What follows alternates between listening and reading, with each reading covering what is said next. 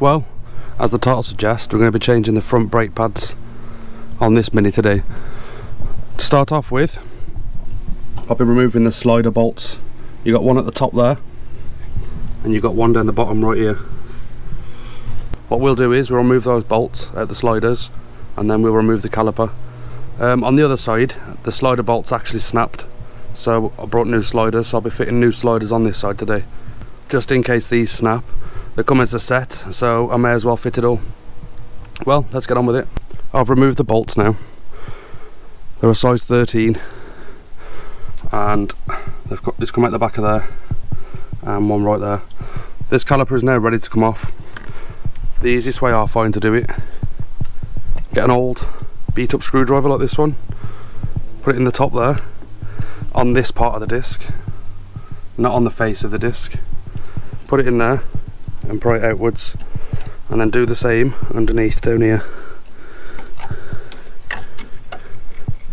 As you can see that caliper's coming off now. You don't want it to let it drop on the pipe so just be careful. I'll get, get it off the rest of the way now with two hands and you also have a brake wear sensor running up here but I'll show you that now as we get there. The caliper's off now, I've rested up the top make sure the pipe's not kinked and it's not hanging on the pipe either. The brake pads are out. You got the sliders here, as you can see they're moving in and out freely.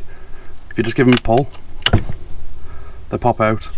You can give these a clean if you want to and give them a little bit of grease just to keep them smooth but as I said earlier I'm replacing them as we've already got new ones these come out okay but we've got new ones so we might as well put them in same down the bottom it just pops out we'll get the new ones in there with a bit of new grease and start getting this all refitted what I'm going to try and do is show you the assembly process the way it comes in the pack is everything you got here I've opened the grease already what you have, you have a long one and a short one. On the short one, you've got this little rubber sleeve, which has to go over there. It's a bit tight. And it slots into that position. Bit of grease. You don't need to get crazy on the grease, but just get a bit on there. Rubber grommet, or boot, whatever you want to call it. That's popped on. That's actually ready to fit now. Now you've refitted there the short one goes at the bottom and the long one goes at the top. So here we go, get the short one in now. Get this one ready. It's just the same as the other one really, but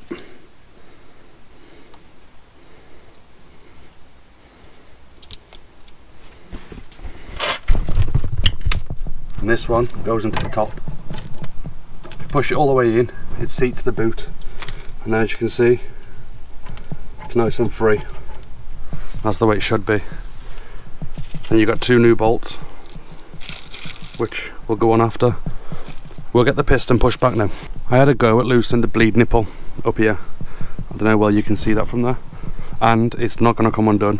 I don't want to force it in case it snaps, because then you're going to need a new caliper. So what we have to do is, is push this piston back without loosening the bleed nipple. I'll take up the top now I'll show you where the brake fluid reservoir is so we can remove the cap off it before we push this piston back. Come to this top corner of the engine, you've got a flap here. Open that flap and there it is in there. Loosen that cap off. You can leave it resting there like that to stop any crap falling in but just loosen it off. Now we'll go down and push that piston back. That's the tool that I use.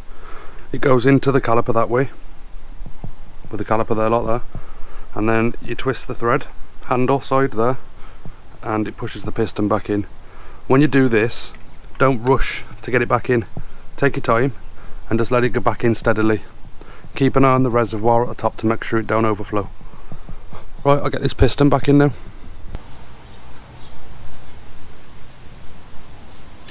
That's going back in nicely.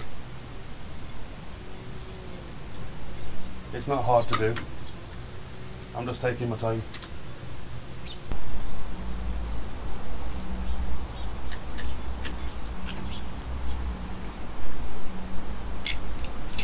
And there we go. That piston's all the way back in. So we can get the new pads back in, bit of copper grease on them, and get stuff refitted. What we're going to do here is is refit the new wear sensor on the pads. They look like that. This one is the rear pad. This one is the front pad. So this one goes where you can see it. This one goes around the back.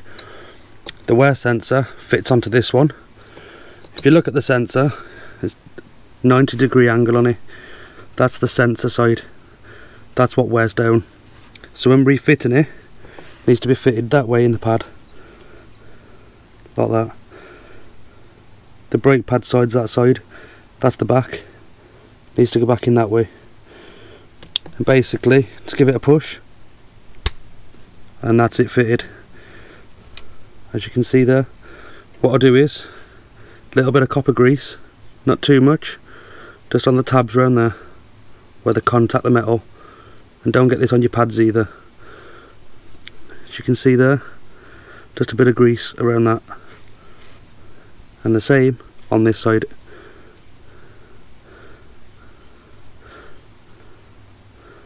Like that.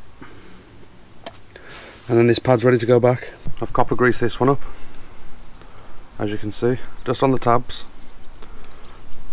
And the pad goes into these grooves top and bottom. The best way to do it is at that angle I find. Go in like that to there sort of straighten the pad out and it pops in nice just like that. The next thing I do with the grease rather than painting the back of the pad like a lot of people do put a bit on the back of this and the back of there on those two and then around the metal face on the piston. You don't want to go too heavy on it you do get a little bit of this on the boot. Just just don't go crazy. You can see there's a, just a little bit on there now. There's not loads but there's a bit. And this caliper is ready to be refitted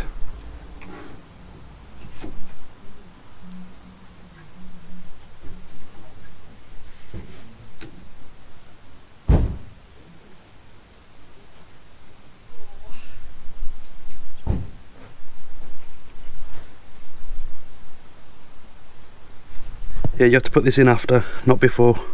Then it's just rerouting it. That goes into there. And then we'll follow this old one which runs up here goes around the back of the plastic and you can see it from underneath the car we'll show you now. This is under the car. This is the back of the brake caliper. If you look up here right up here with my little fingers pointing you've got a white plug and a blue plug what you want to do is unclip the white plug pull that apart and that's where your new sensor plugs into. Well it is all bolted up now and it's refitted. You can see the new sensor there. Comes out it runs up and clips on up there clips on there clips on there and it goes around the back clips around the back and then goes up to about here where it plugs in. And that's it that's the front brake pads. Done. I hope you enjoyed the video. If you're new to the channel please consider subscribing. I'd be really grateful for the support. The channel's growing quite good now so and I get a lot of good feedback which I'm grateful for. So thank you to the existing subscribers. Hopefully the video helps you out and I hope you enjoyed it. I'll see you in the next one. Thank you for watching